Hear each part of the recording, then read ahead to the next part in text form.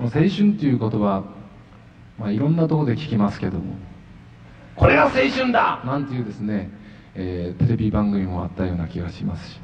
ああいうのを見てましてもね、えーまあ、ちょうど青春時代僕が真っ只中の時はクソも面白くね。えって思ったことがありました、まあ、正確に言うなれば僕がまだ博多に住んでた時ですからクソも面白くねえやなんていう言葉は使いませんいっつも面白くない。かなんやこれ臭い。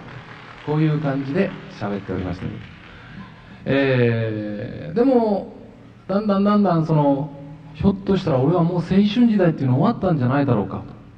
思い始める時。まだ思いませんけども。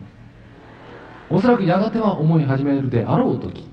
きっとあんなテレビドラマのバカバカしいようなそんな感じだった青春というものがそのテーマがその内容がああ懐かしいな。